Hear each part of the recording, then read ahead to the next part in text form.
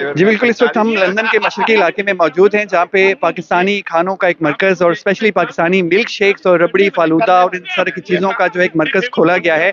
इनके ओनर से हम बात करेंगे। आसिफ यूसुफ साहब से पूछेंगे कि क्या स्पेशलिटी इस जगह की और क्या इनका एम है क्या इनके टारगेट्स हैं और किस चीज़ ने इनको इंस्पायर किया कि उसको स्टार्ट करते हैं?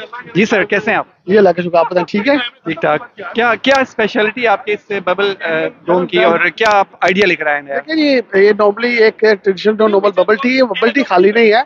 इसमें हम जो हमारे यंगस्टर जो बच्चे हैं उनको पाकिस्तानी जो फ़ूड है स्पेशली जैसे गर्मियों में मिल्क शेक होता है या फलूदा है या रबड़ी है तो वो भी इंशाल्लाह हम लेके आ रहे हैं और जो जो हमारी यंग जनरेशन है, जो यहाँ पे रहते हैं, जो शायद हमारे स्ट्रीट फ़ूड से इतना मुतारफ नहीं है, उनको हम इंशाल्लाह यहाँ पे ये इस फ़ूड से मुतारफ भी कराएँगे। और जो पाकिस्तान से स्टूडेंट स्पेशली यहाँ पे आते हैं, उनके लिए हम यहाँ पे जो है डिस्काउंट हमने रखा है, ताकि वो भी अपने पाकिस्तानी फ़ूड को इंजॉय कर सकें यहाँ पे। जी बहुत शुक्रिया हमारे साथ रिजवान सुलेरी साहब मौजूद हैं बड़े मशहूर एक लॉयर हैं उनसे पूछेंगे कि वो आ, क्या कहेंगे इस आज की इस ओपनिंग के हवाले से क्या विशेष देंगे?